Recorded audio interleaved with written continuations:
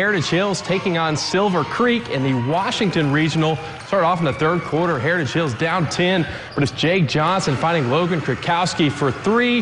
That would make it a 36-29 Dragon lead, but it's Blake Sisley pulling up from the elbow now.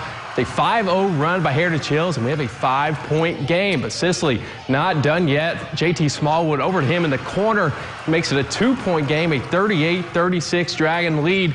Later on, it's Jake Johnson pulling up for two more to make it a two-point game again. The Patriots make a late push, but they come up short in this one. 52 to 48 is your final.